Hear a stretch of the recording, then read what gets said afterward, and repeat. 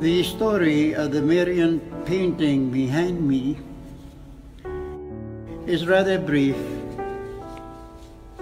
Years ago, traveling in Spain, I came upon a beautiful painting of the Blessed Mother embracing with her mantle children from different nations.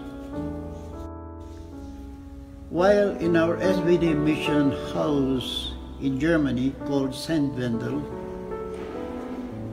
there is a painting, similar painting but of the same motif.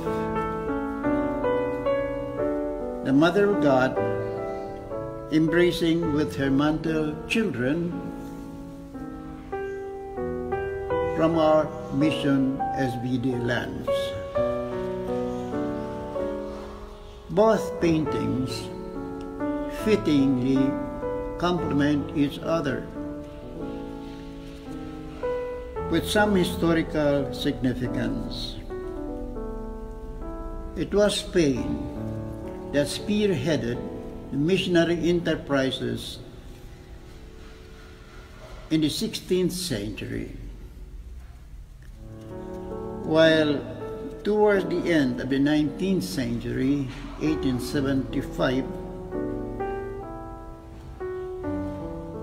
was founded the Missionary Religious Congregation, the Society of the Divine Word in Germany.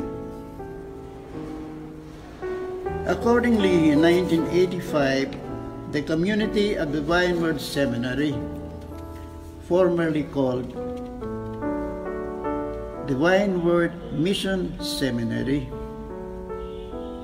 requested, actually commissioned Sister Alicia, a Franciscan missionary sisters, to paint a similar yet with a clearly missionary slant of the two paintings mentioned above. The result is this our painting of Mary, Queen of the Missions, embracing with a protective mantle the children of all SVD mission territories. Divine Word Seminary is a mission seminary. It plays host to more than a dozen houses of formation, diocesan as well as religious, with some missionary orientation.